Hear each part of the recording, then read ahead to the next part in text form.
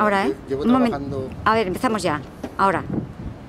Hola, buenas tardes. Soy Juanjo, llevo trabajando 5 o 6 años aquí en el Museo del Baluar y soy yo el que me ocupo de, de las plantas que tenemos aquí en, el- en la, en la terraza del museo, porque esto es un proyecto hace cuatro, unos 4 años, 3 4 años vinieron de, de Gaspar Caballero y hicieron, vino con gente para hacer un curso para que supieran cultivar, porque esto es un huerto ecológico. Y luego cuando se terminó el curso lo dejaron. Y entonces, como es una cosa que a mí me gusta, que aparte que también soy extremeño, pues entonces cogí y empecé yo a poner cosas.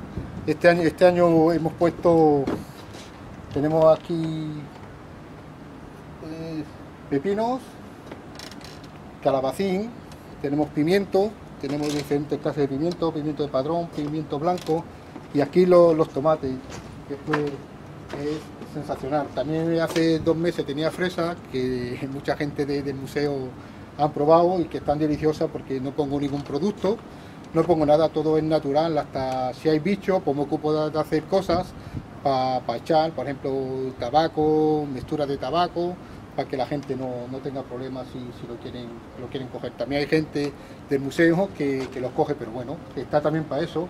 Y pienso que, que da vida también al museo, porque aquí no hay nada y la gente, pues yo qué sé, ven que, que todo esto está, está florecido. Te voy, a, te voy a coger un tomate para que veáis lo que, lo que estamos dando ahora. Están por aquí porque he recortado ayer, pero mira. Estos son los tomates que estamos dando.